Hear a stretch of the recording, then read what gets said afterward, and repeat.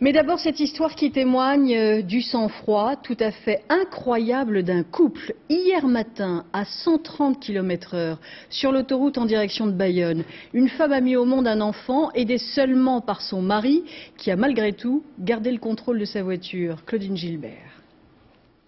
Voici Issa, heureux bébé de 3,9 kg, très pressé de profiter des bras de ses parents.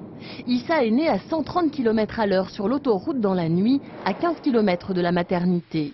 Déjà père de 6 enfants, son papa n'a pas paniqué.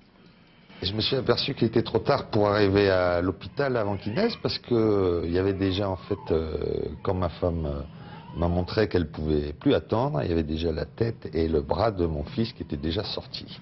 Et voilà, j'ai pas réfléchi en fait, j'ai attrapé par la main mon fils et euh, facilement je l'ai tiré euh, hors de sa maman et il est arrivé euh, comme une fleur.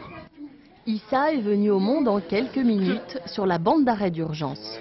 La maman était donc euh, au siège passager et le bébé euh, était sur le ventre de la maman comme on fait lorsqu'il y a un accouchement. On s'est occupé donc du bébé effectivement, euh, on a vérifié qu'il était en bonne santé, donc on a fait ce qu'on appelle un bilan et aussi un bilan de la maman pour voir si tout allait bien.